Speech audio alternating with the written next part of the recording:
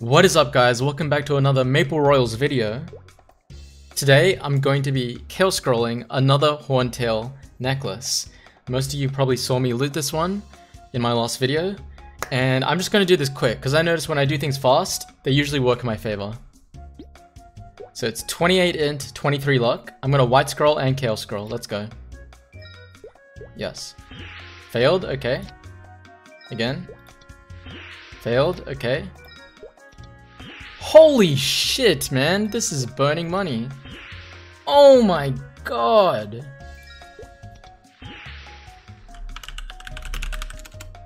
Alright guys, well, I'll have to save the rest for another video because that is all the all the scrolls I have. Thanks for watching.